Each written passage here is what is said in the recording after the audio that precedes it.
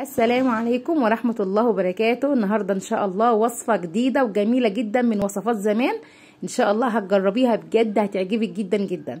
هنضيف النهاردة البيض على المكرونة. حاجة كده اختراع. يلا بينا. نقول بسم الله الرحمن الرحيم. ونبدأ كده مع بعض ونشوف النهاردة الوصفة بتاعتنا ونشوف هنعمل إيه. أول حاجة معانا حلة أو طاسة كبيرة. هروح جاية حاطة فيها مية عادية خالص من الحنفية.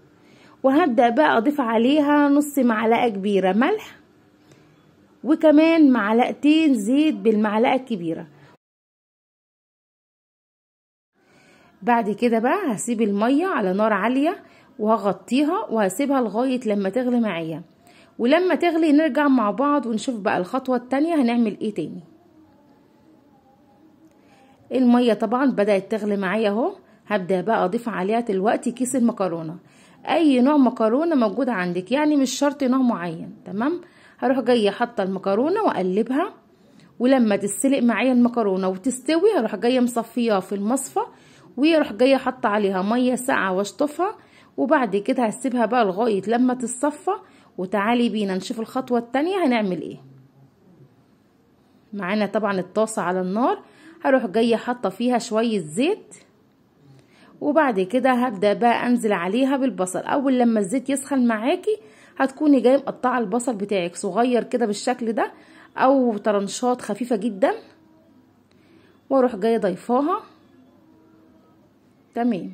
وهضيف عليها كمان ربع معلقة ملح عشان خاطر البصل يدبل معايا بسرعة ويستوي وما ياخدش وقت على النار. ربع معلقة بس من المعلقة الصغيرة. هروح جاية حطاها. تمام كده. وهقلبها تقلبتين طبعا البصل أنا مش عايزاه ياخد لون. يا دوبك كده بس يدبل معانا ويبقى كده خلاص تمام وزي الفل كده خلاص. نبدأ بقى نضيف عليه بقية المكونات بتاعتنا. حلو قوي كده. معانا بعد كده بقى معلقة كبيرة صلصة.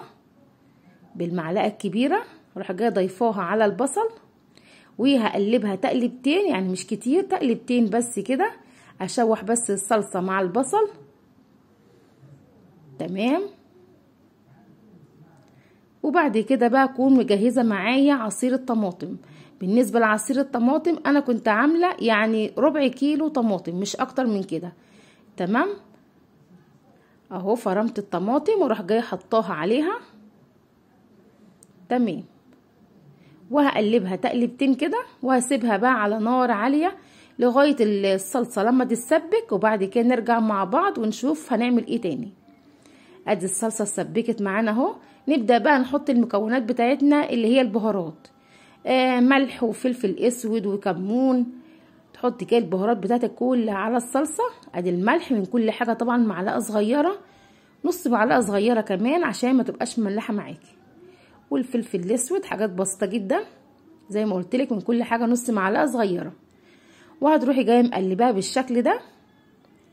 كده خلاص الصلصة بتاعتنا جاهزة. هنا بقى معانا البيض معاكي بقى ثلاث بيضات أربع بيضات براحتك البيض براحتك حسب ما انت عايزة تضيفي. هروح جاية ضايفة عليهم بقى فلفل أسود والملح وملح برضو بسيط عشان إحنا حاطين الملح أصلا في الصلصة. وحاطين الملح في المكرونة وهي بتتسلق فما تكتريش من الملح. اظبطي إيدك كده في كل حاجة وانت بتحطيها. هروح جاية ضربة البيض كويس جدا كده أفكه من بعضه.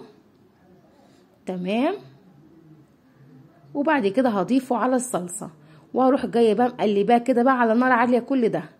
هقلبه بالشكل ده كده لغاية البيض. لما يستوي معايا وأقلبه مع الصلصة كده بالشكل ده.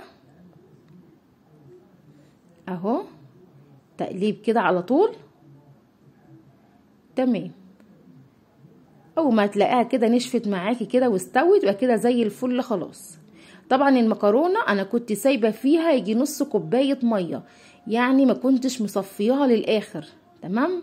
سبت فيها نص كوباية مية بس كده عشان خاطر لما أضيف عليها البيض والصلصة أروح جاية مقلباهم مع بعض كده. تحسي كده إيه؟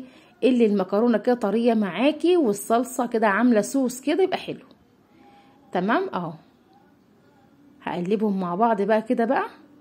أول ما المكرونة تسخن معاكي خلاص كده تمام وزي الفل كده خلاص المكرونة جاهزة معاكي. مكرونة بالبيض طعمها تحفة. دي بقى من اكلات زمان. كانوا دايما أمهاتنا يعملوها لنا. كانت طعمها لذيذ وحلو قوي قوي. تغري فيها بقى في الأطباق بقى للأولاد. أهو بالشكل ده كده. حاجة جديدة وسهلة وبسيطة ومش مكلفة.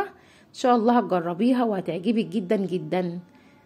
ما تنسيش بقى تحطي لي اللايك بقى على الفيديو وما تنسيش تدعميني على قناتي على اليوتيوب مطبخ أم سلسبيل والسلام عليكم ورحمة الله وبركاته.